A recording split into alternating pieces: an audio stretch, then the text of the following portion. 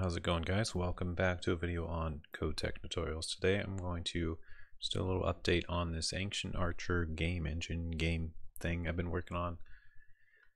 And as it says here, it's a work in progress 3D scripting game engine built on C++. Uh, it's it's my own little personal project and this is the I think sixth vlog and it might be the last one in a while as I'll explain.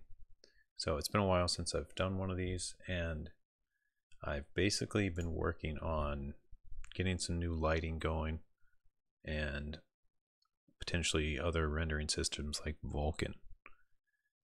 And I've thought about also doing more with the rendering too. So there's a lot going on right now is what it comes down to. And I'm a bit overwhelmed working on this and I haven't had as much time as I usually have being that uh, kids are out of school I've probably only spent about half the usual time on this in the last couple weeks. And I think I'm going to learn some stuff on Unreal for a while and then come back to this. But this is still private, as you can see. Uh, I want to make a few final little changes here, mainly just straighten out the lighter, the lighting. But currently, the only rendering this does is on OpenGL. So since that's being depreciated, I've got to update all that rendering stuff and update all the shaders. Now, I'm not a shader guru, and this is what eats a lot of my time is trying to get all the shaders right. Uh, so that's been a bit of a struggle. Like I can handle the logic and structuring things, but when it comes to setting up all the shaders and putting in all the math lighting, the math for the lighting, it uh, it can be a little overwhelming at times and also getting your loader correctly seems to be pretty pretty crucial too. So I have this little file for loading for OpenGL and yeah it has to match with the shaders and uh, so that's basically where I am. I'll do a quick run of the thing just to kind of show you where it's at let's see here.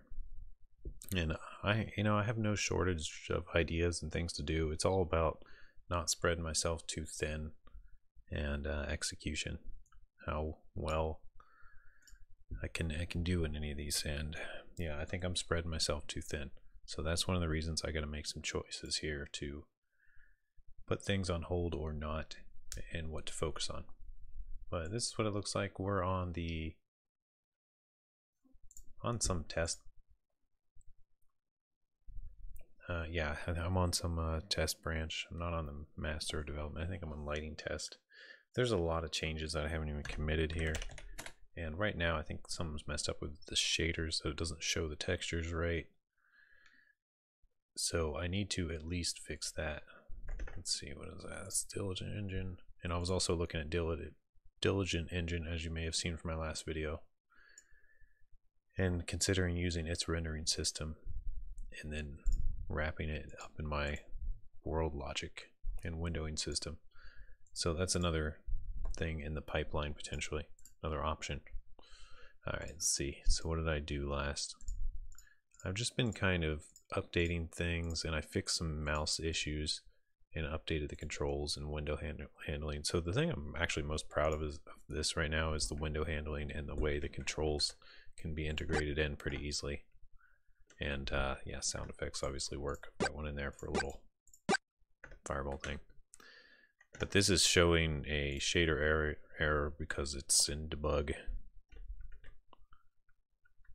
And it's just, yeah, it's not loading the shader stuff right. So that's why these look this way. These are just randomly placed within this location uh, that you see them in within a and I could arbitrarily do anything with any object. But uh, yeah, here I'm just testing some shader stuff, apparently where I left off. Well, there's not a whole lot else to say about this other than it's a big in progress thing. And uh, I do want to just go ahead and make it public and let it sit there for a while while I work on Unreal. So I think a good choice for me would be to do that because I'm sort of at a point where I just look at everything in my engine and I can do this for hours. Just look at everything and do like a bunch of little changes but make no real progress. So I think I need to step back and uh, look at the bigger picture. That way I can get an idea of exactly what I need to fix and focus on. So I might come back in a month or two and start focusing on this engine again. But after this vlog and a few last pending changes, it is going on the bench for a while. As I, I'm going to focus on learning Unreal and get as many takeaways as I can from that. And in that process, I think that I can improve Ancient Archer in the long run because what it comes down to is I just need to use other game engines. I'm I've always not used game engines, so even when I was doing my computer courses and uh, computer science courses in school, throughout that whole time, we were like more instructed how to write our own stuff. Using engines and stuff was uh, not really allowed in any of the projects, so yeah, I've never really made a game with an engine before. I've made a couple little games with my own code. And uh, I think I really want to just dig in.